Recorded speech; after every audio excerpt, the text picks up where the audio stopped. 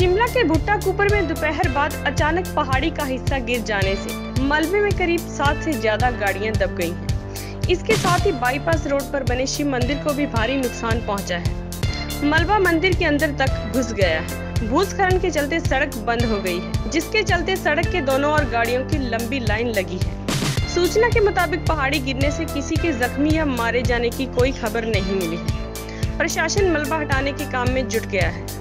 सड़क को जल्द से जल्द बहाल करने की कोशिश की जा रही है।